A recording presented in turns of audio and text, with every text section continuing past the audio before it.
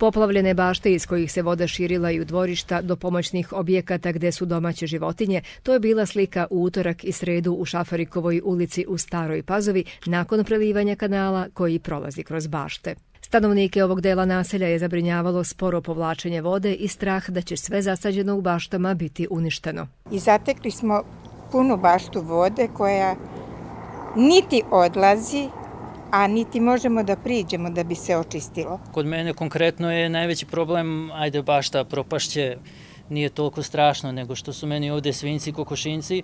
Ovaj, životinji su nam bile u vodi, morali smo ih prebacivati, ovde sam, imam tu neke šupe, morao sam na brzinu isprazniti da bi prebacio životinje da budu na suvom. Golubovi su tu, poplavio golubarnik, ne može ne se ni hrane, ništa, sve ovoliko vode 3 cm u, u šupe da su golubovi, morao sam da izvadim i hranilice i pojelice. Vjerojatno se opet negde desio neki zastoj, neki čep, nešto se zagušila, neka cev ili nešto.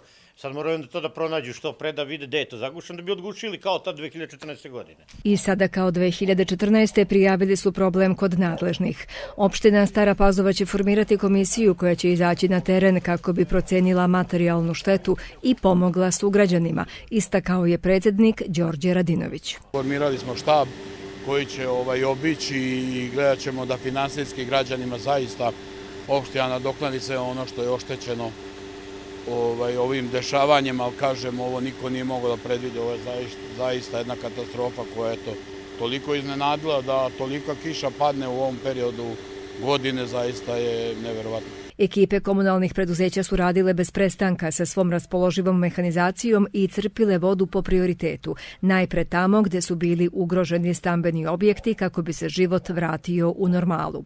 Sa saniranjem posljedica nastavljaju i ovih dana.